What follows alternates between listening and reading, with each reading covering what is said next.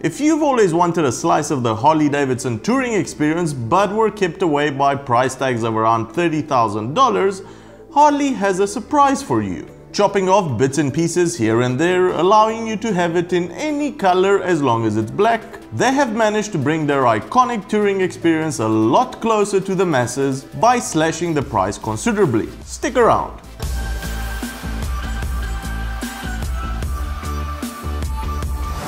Get your motorbike news in a pleasant way. Hit that subscribe button and turn on your notifications so you don't miss the next episode. Every reviewer in every corner of the internet is praising Harley for their newfound courage to bring a stripped down bike to market and make it more affordable for the everyday touring enthusiast.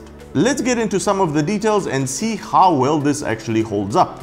The Electra Glide Standard offers the purist the ability to disconnect from screens and gadgets and enjoy the ride. All of the Harley Davidson touring essentials are found here and by essentials I really mean just the essentials. The bike is powered by the V-twin Milwaukee 8 107 engine, which for its massive displacement of almost 1800 cc's only manages to put out less than 80 horsepower. Go figure. It is connected to a 6-speed gearbox by a wet clutch and all of that massive power is fed to the back wheel using a chain drive. 43mm non-adjustable Showa shocks in the front and a pair of emulsion type shocks in the rear, which are preload adjustable, try to hold this mammoth of a bike comfortable on most road surfaces. Mammoth because in comparison to the small amount of horsepower the bike puts out, it weighs a massive 820 pounds. Again, maybe this is normal for Harley riders and you're all looking at me with crazy eyes going, what, what, what? 820 pounds is normal weight for this kind of bike. But for an avid off-road rider like me that loves going at it on a big bike, this massive thing behind me only weighs 560 pounds and puts out about 120 horsepower. So there's obviously something I'm not understanding at the moment. The iconic Batwing fairing also makes an appearance with a split-stream vent that relieves the vacuum behind the mid-height windshield and prevents excessive head buffeting. The dash however is where we see the main difference between this model and its siblings. A total lack of infotainment equipment. No navigation technology, no weather radio or virtual jukebox to keep you entertained on those long lonely roads, just an open glove box where all the stuff would normally go. Analog gauges and some lights deliver all the info you need and that's all you get. Now, some of you die-hard riders will stick to your guns and say that radio and music and all this technology is for babies. The road and the sound of the engine is all I need. Is it? Is it though? Because you see, the Electra Glide Standard doesn't come with a passenger seat, so you will be riding alone. And after an hour of listening to just the road and the engine, is it still going to be as much fun for the other 6 hours of your long trip? Hmm?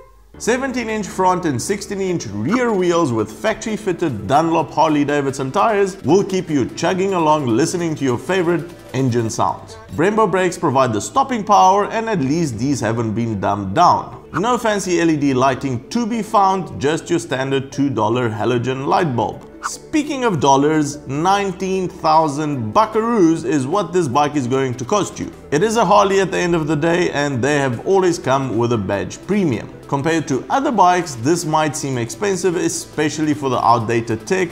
And here I'm not just talking about electronics, but the weight and the engine power as well. But compared to Harley's own touring lineup, this is a steal of a price. So the main components that have been cut in order to make this bike more affordable are the big screen up front, with the audio system and the navigation and the ability to carry a passenger. I'm sure you could get around that, but why would you have to? And it's only available in black. One thing that Harley has done, which would be unforgivable in Europe at least, is to make the ABS system optional. If you want ABS, you need to fork out another $800 or to put it mildly, another 5% of the bike's total price. The bike also comes with an optional reflex linked brake system. That's where pulling the brake lever also engages the rear brake and personally this is fine as an optional for those who want to pay 5% or whatever more. ABS however is a true lifesaver and you only need to use it once in a lifetime for it to be worth it. This should never be an optional on a bike and in Europe you cannot even sell new bikes or cars for that matter without ABS anymore. Bad Harley, bad bad bad Harley. Love it or hate it, at least Harley are doing something to get more riders into their ecosystem and this is something to be applauded. Let me know in the comments what else Harley could do in your opinion to make the bikes more appealing or accessible to the average rider. Well that's the show everybody, give it a big thumbs up if you loved it, a smaller thumbs up if you just liked it and if you think you've learned something new consider subscribing or becoming a patron to help us make more of these videos. Cheers and I'll see you on the next one.